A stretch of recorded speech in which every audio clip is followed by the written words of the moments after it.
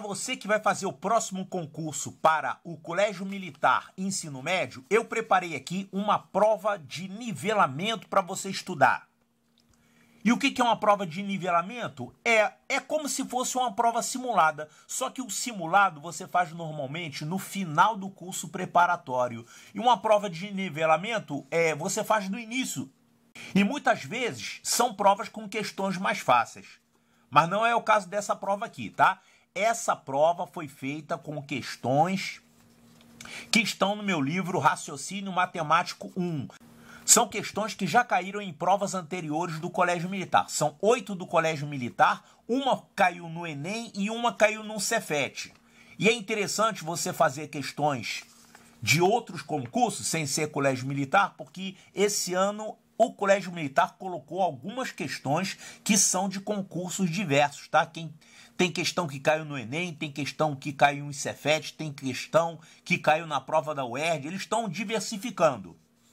E você já deve saber também que esse é um concurso dificílimo que você vai fazer. É dificílimo primeiro porque é uma prova de alto nível. É uma prova com questões difíceis.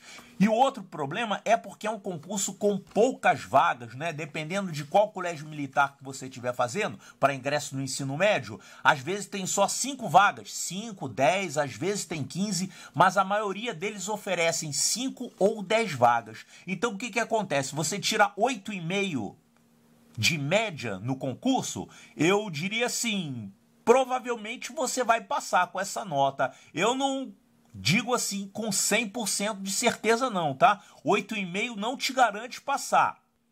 Agora, se você tirar 8, olha, 8 eu acho que você está em maus lençóis, tá? Você tem uma chance de passar, mas está muito longe de ter uma garantia. Eu já vi gente com média 8,2 e ficar fora das vagas. Claro, não tem jeito, se são poucas vagas, acontece isso, né? Então, se você quer passar nesse concurso, você tem que se acostumar com padrões elevados. Você tem que procurar sempre buscar o máximo. Quer dizer, aquilo que é difícil para os outros tem que ser fácil para você. Então, essa prova de nivelamento que eu coloquei aí, eu não botei questões fáceis, botei questões, inclusive, dos próprios concursos.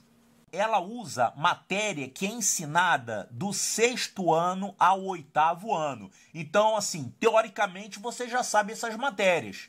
Teoricamente, você deve saber fazer essas questões, ou deveria. Você deve buscar isso. O seu objetivo é chegar ao 10. Agora, na prática, você pode ser que você não chegue ao 10, você chegue a uma nota 6, por exemplo.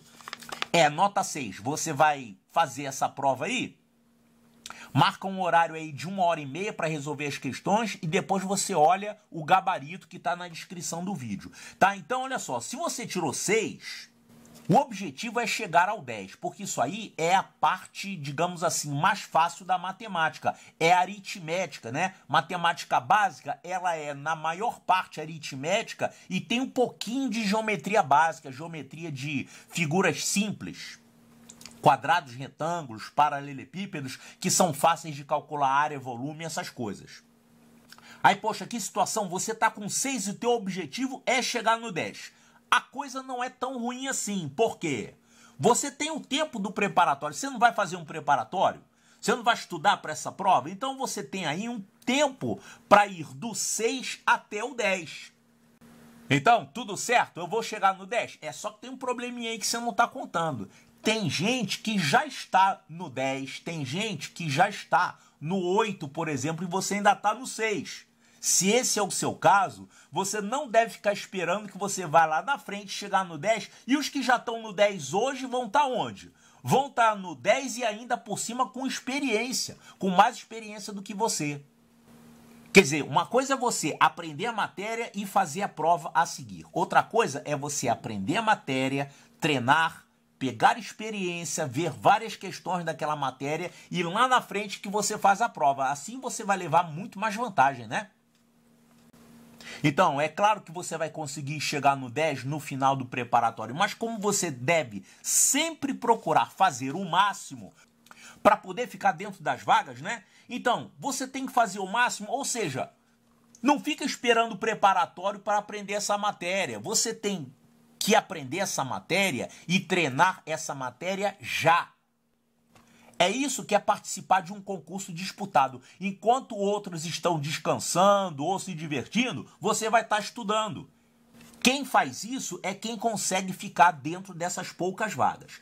Então, a partir da nota que você tirar nessa prova, eu vou dar a seguinte recomendação: comece a estudar matemática básica já.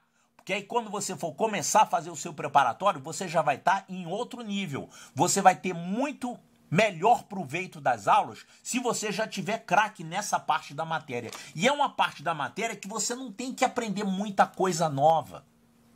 São coisas que você já estudou, frações, MMC, porcentagem, né? Não é igual álgebra que você tem que aprender um monte de coisa nova. Então, começa já desde o início estudando matemática básica. A menos que você tire 10 nessa prova, né? Se você tirar 10 nessa prova, aí você vai fazer o quê? Vai descansar? Não.